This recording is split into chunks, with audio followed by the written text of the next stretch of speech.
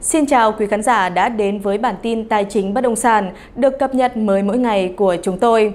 Bản tin ngày hôm nay sẽ có những thông tin đáng chú ý sau đây. Giá vàng trên thị trường thế giới tăng mạnh, giá xăng dầu quốc tế có xu hướng đi xuống, giá đô la Mỹ thế giới giảm nhẹ.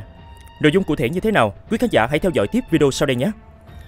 Kết phiên giao dịch 17 tháng 10, giá vàng miếng 4 số 9 tại SJC thành phố Hồ Chí Minh được niêm yết ở mức 69,3 triệu đồng một lượng ở chiều mua vào và 70 triệu đồng một lượng ở chiều bán ra.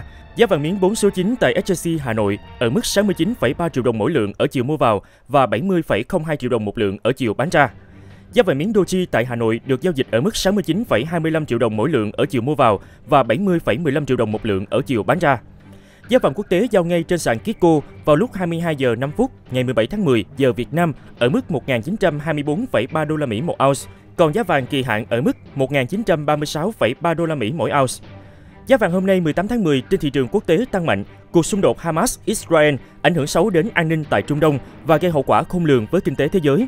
Trên thị trường chứng khoán, kết phiên 17 tháng 10, VN Index giảm 19,77 điểm xuống 1.121,65 điểm.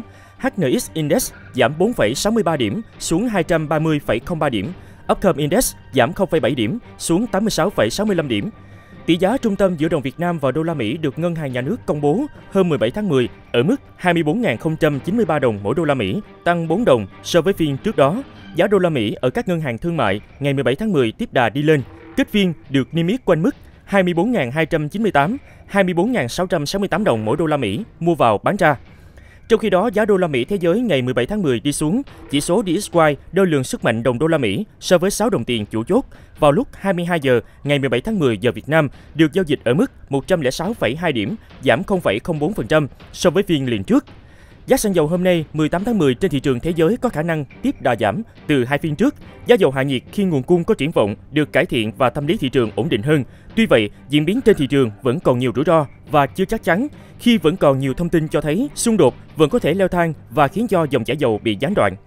Ở thị trường trong nước, giá các loại xăng dầu hôm nay 18 tháng 10 được áp dụng theo mức giá tại phiên điều hành chiều 11 tháng 10 của Liên Bộ Tài chính Công Thương.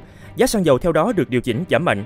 Cụ thể, giá xăng E5 giảm xuống 21.900 đồng một lít, giá xăng RON 95 hạ xuống mức 23.040 đồng một lít, giá dầu diesel giảm về 22.410 đồng một lít, trong khi đó giá dầu hỏa hạ xuống 22.460 đồng một lít.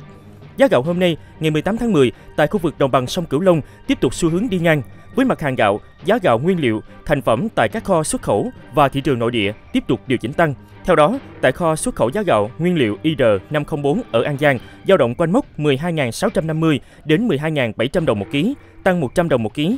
Gạo nguyên liệu OM 5451 tăng 100 đồng một ký, lên mức 12.990 đồng đến 13.000 đồng một ký. Gạo nguyên liệu OM18, đài thơm 8 cũng tăng 100 đồng một ký, lên mức 13.200 đồng đến 13.250 đồng một ký. Tại Sa Đéc, Đồng Tháp, giá các loại gạo đang được doanh nghiệp mua ở mức cao hơn khoảng 50 đồng một ký. Theo đó, giá gạo nguyên liệu IR504 dao động quanh mốc 12.700 đồng đến 12.750 đồng một ký, tăng 50 đồng một ký. Gạo nguyên liệu OM5451 ở mức 12.950 đồng đến 13.050 đồng một ký, tăng 50 đồng một ký. Gạo nguyên liệu OM18, đài thơm 8 cũng tăng 100 đồng một ký, lên mức 13.200 đến 13.300 đồng một ký, tăng 50 đồng một ký. Thời gian tới, Cà phê Lên TV sẽ triển khai nhiều video hấp dẫn về hỏi đáp từ hội viên, series kiến thức bất động sản, review khu vực hay dự án theo yêu cầu từ hội viên, tin nóng về hạ tầng. Những video này chỉ dành riêng cho hội viên của kênh Cà phê Lên TV. Trân trọng mời các bạn đăng ký trở thành hội viên ngay hôm nay để chúng tôi có động lực phát triển nhiều video hay và bổ ích hơn nữa. Thông tin vừa rồi cũng đã khép lại bản tin bất động sản ngày hôm nay của chúng tôi.